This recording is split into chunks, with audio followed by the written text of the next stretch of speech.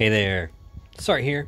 Um, so I had somebody comment in my video yesterday um, concerning this particular trial.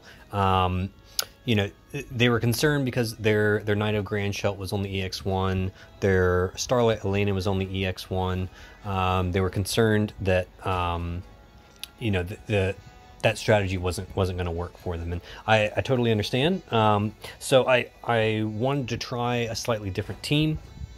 I took Knights of Grandshelt out completely because you know I don't have an EX1, so I don't really have a good representation of how to, you know, replicate an EX1 Knights of Grandshelt. Um, you know, I also don't have an EX1 Starlight Elena that I can I can use, um, but I I will I will not use her uh, her cooldown skill that she gets at EX3 in this particular clear. Um, you know that that cooldown skill is really helpful in the previous clear because it comes with the demon killer for the party. Um, it does the sword imperil. Um, it gives her you know big amps to uh, to light element, and so you know I want to do away with that. So this team is uh, we're, we're mixing things up a little bit. Um, since this is for Ingus's crowns, anyways, we, we might as well bring him along. Uh, my Ingus is only EX1. That's all you really need to follow this strategy. You do need access to his Brave Shift form because uh, we are going to use that. That's going to be very very helpful. Um, and and Ingus is actually he's he's pretty crucial for this strategy in particular. So if you don't have an Ingus you're not going to be able to follow this one. Uh, Starlight Elena is going to carry the fight for us for the most part, um, but I think even at EX1, uh, she should be just fine as long as you have her intrinsic ability. That's what makes her so powerful. Not necessarily her EX levels; those those don't matter as much to her. Um, an EX1 Starlight Elena will be just fine as long as you have that intrinsic ability, hidden powers. All right, so here's the team. Um, we're going to go over the gear because the gear's uh, going to be slightly different for um, for Sice. I actually geared Sice for some damage. Uh, Ingus obviously wasn't in my previous clear, so let's go over this again. Once again, make sure you set Galuf to your leader because he has a 200% attack and mag leader skill for Blessing of the Crystals category units, and that's pretty much all the units that are allowed into this fight are blessings of crystals. So make sure uh, Galuf is your your leader for this fight for that that nice leader skill. Just like in my previous clear, he is built for full evade. Um, he is uh, evade provoke unit. Pretty sure he should have an 800. Yeah, he's got like 160% innate provoke, 100% evasion. Um, so Durandal is there to help out with that. Sea Dragon, Tulian's card, really great. That basically maxes out everything on evasion and provoke form. The rest of it can just be for elemental resists. Um, so I was mistaken in my in my previous video. Um, there is no light imperil on uh, on Galuf at, at, any point. Um, it's just a fire imperil. It's a big 300% fire imperil. Um, and so you don't have to worry about um, going crazy on light element like I did. He, he has a lot of innate light resistance anyways, uh, but just focus on making sure you have at least 300% fire resist on your build. All right. Otherwise, he is pretty much good to go. Um, So Starlight Elena, again, you know, I, am not going crazy on the, the build here. I know she is EX3. Obviously, if yours is EX1 or EX2, her stats might be lower. That's fine. It, it's really okay. Um, you know, her stats might go down to like 8,000 attack and mag. You're still going to get it done. So this team is going to do a fair bit of, of overkill um, to, to get this one done. Pretty much the same gear. The only thing I switched out is, you know, I did that... Um, I, I did that trial for the upgraded uh, class 0 summer uniform and if you upgrade it to plus 2 it gives you 74 uh, attack and mag which is kind of nice. That's it's it's nicer than Kamari's uniform which I was using on my Elena uh, in, in my video yesterday. Red hellebore still there because it's great uh, with the upgrades. Same with the magic control rings um, because they help get Starlight Elena up to 400% TDW which is really nice. Uh, then you just make sure she's capped up on her demon killers. Um, I switched out the the limited card that I had on my Elena in yesterday's vid and went ahead and put in uh, Fryevia's. And then just make sure hidden power is in there. This is the this is the key critical thing for your Starlight Elena. Make sure hidden power is equipped to her, and, and she will she will just hit like a truck, no matter what her EX level is. All right. Uh, so she should be loaded up on Demon. Yeah, 300% Demon Killer, ready to rock and roll. Um, regular Lena, we don't care. Her damage is irrelevant. She's just here as a chain slave. She's going to be our demon killer buffer. So we're going to use her Brave Shift uh, LB for the demon killer buffer for the party.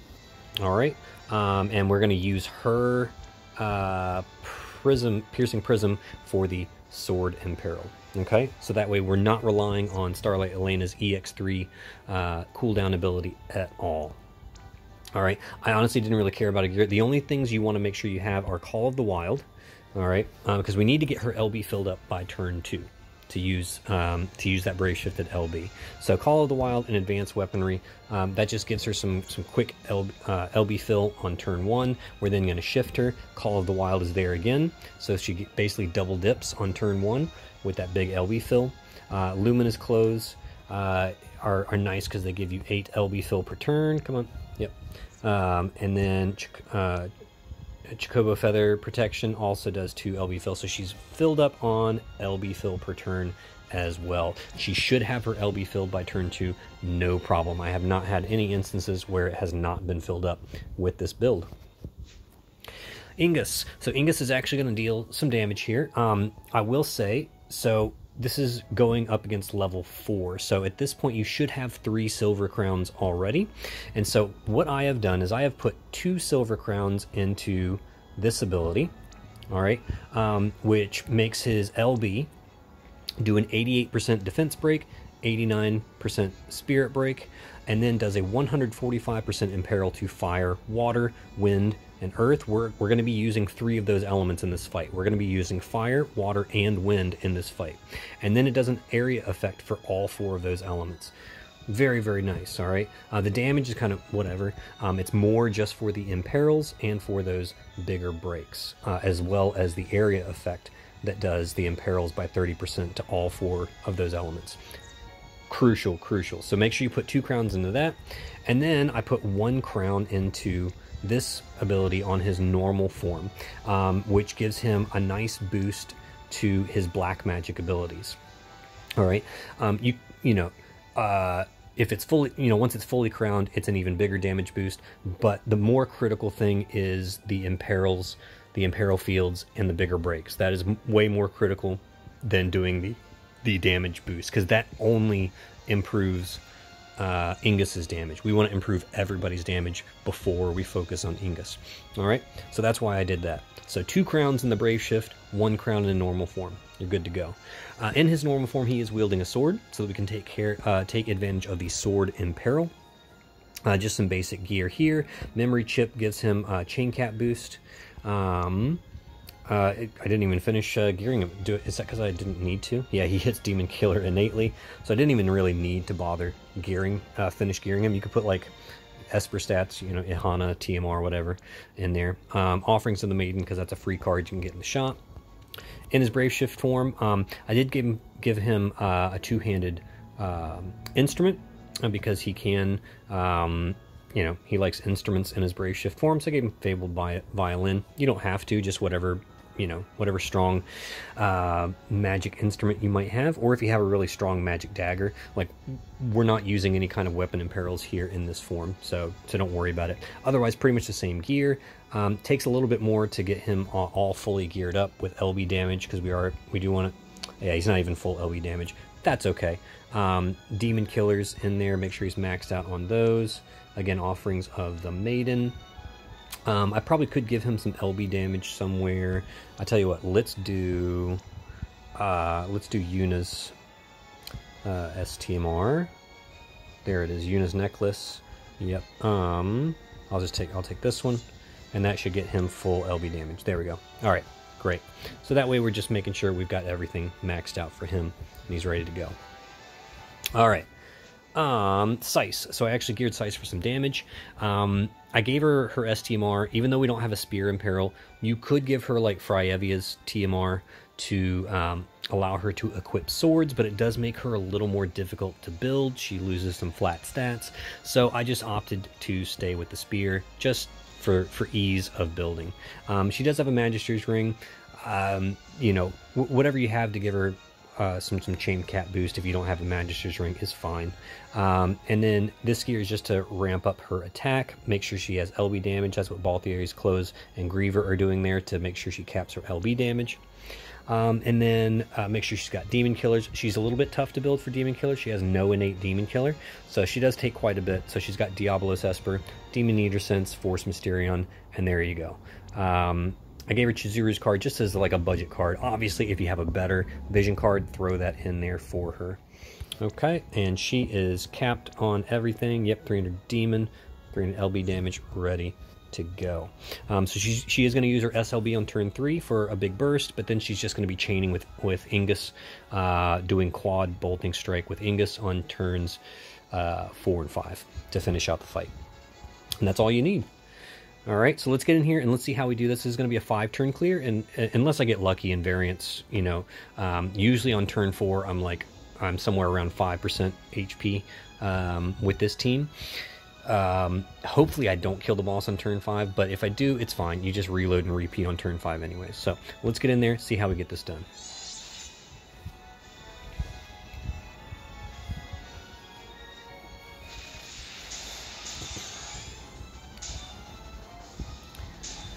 All right, so um, first things first, Elena is going to shift. All right, and she is going to do Luminous Speed, Crystal Refract for the 100% elemental resist across the board. That way nobody takes any magic damage. Blessing of the Azure Crystal for the buffs and break resists. Again, I don't know if the boss breaks, but, you know, why not? Um, Galuf is going to do uh, he's going to do Swarm Protection and then double Bulwark Tactics. That's to help fill up Elena's LB. All right, Ingus is going to do triple. He's going to do Infira and in Watera. Okay, that's to imbue the party with fire and water with a 20%, I think it's a 20% amp, maybe 25%, whatever. It's to Im imbue everybody with fire and water. Uh, Sice is going to go wind, all right?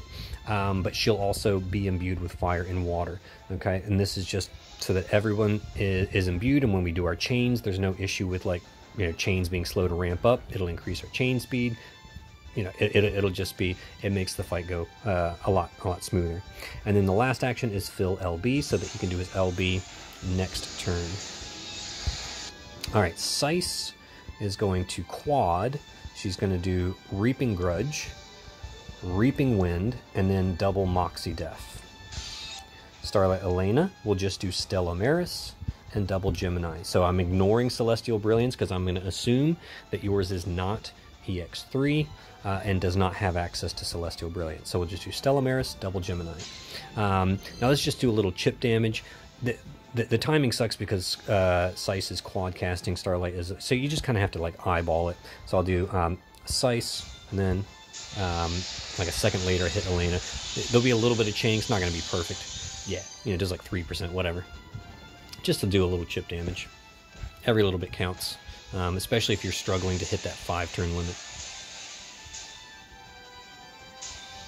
All right, so now Ingus is going to shift to the Brave Shift and do his Brave Shift at LB. All right, Starlight Elena will do double Gemini Star Supernova. Sice is going to do quad. She'll do Moxie Defense, the, the unlocked version, uh, three times, and then end with You're Dead so she can prepare to do her SLB next turn. Elena will do. Hmm. That's fantastic. All right, so of course, like the one time. Looks like she only needs a little bit. That's okay. We're gonna have um, Galuf go ahead and fill that up.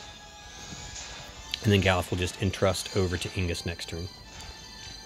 Alright, Elena does her Brave Shifted LB for the Demon Killer buff. So now everybody has a 150% Demon Killer buff ready to go. Okay, looking good. Alright, so Ingus goes first to do the bigger breaks and the imperil fields, followed by Starlight Elena and Sice. And it's, it's all triple bolting strikes, so it all should chain nicely. Okay, it should do a little chunk of damage, like 20, 25%, something like that.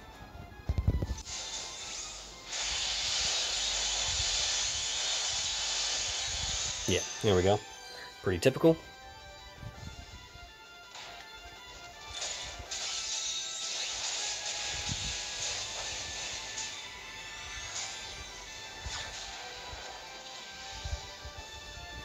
All right. So as you can see, the team is in absolutely no danger of dying. We will take zero damage with this team and this strategy. All right, Sice is ready for the SLB. Uh, Elena just has to do triple Gemini. Um, Ingus is going to come back to normal. And Galuf is going to entrust over to Ingus. So Ingus can do his normal form LB. This is to do the mod boost to all of his magic skills. All right, Elena is now going to come back. All right, she's going to do Piercing Prism first, Blade of Salvation, Crystal Refract. Okay, so Elena goes first, followed by uh, Sice and Starlight Elena. Okay.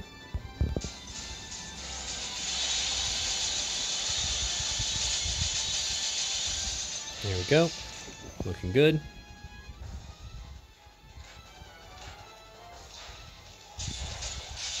All right, and now Ingus is going to join uh, join in with the damage, and you know we should be we should be golden from here on out. Galuf can just guard.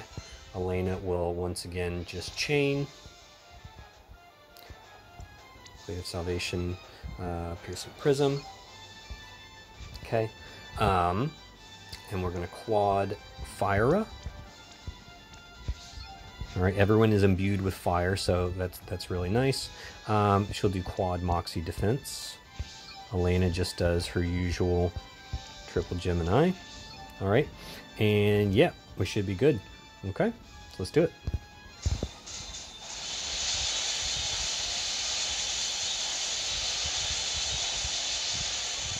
Oh, I killed. I killed him on on turn four. Darn. All right. Um. Anyways, as you can see, uh, that gets it done in four turns. If you have to go to turn five, you literally just hit reload and repeat. You will want to shift um, your original Elena back to uh, Shift form and reapply the Demon Killer buff. But then, yeah, that's pretty much it. Everyone just takes it home from there. Um, and yeah, there you go. You can see uh, Elena once again sort of uh, carrying the load, but Ingus for for only doing damage on like one turn, he did three billion damage on that one turn. So uh, there you go. Um, so obviously he would contribute another like three and a half billion on the following turn, which um, should easily kill the boss, right? Um, and, and Sice just kind of like you know doing some extra chip damage to make sure you get across the line. But anyways, uh, that's just another way to get this one done that doesn't require Knights of Grandshelt, um, doesn't require EX3 Starlight Elena, does require Red Mage Ingus though, um, at least EX1. Obviously, if your Ingus is EX2, you could probably get get away with doing things a little bit quicker. But um, yeah, so hopefully this was helpful to you guys. That's an all missions clear for you. Um, let me know in the comments below if there's anything else you guys would like me to try. And because um, I, I honestly don't have anything else to do this week. So um, let me know, and I will see you on the other side.